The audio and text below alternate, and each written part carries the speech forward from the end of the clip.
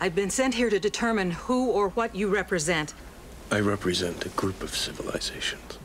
What were you before you were human? It would only frighten you.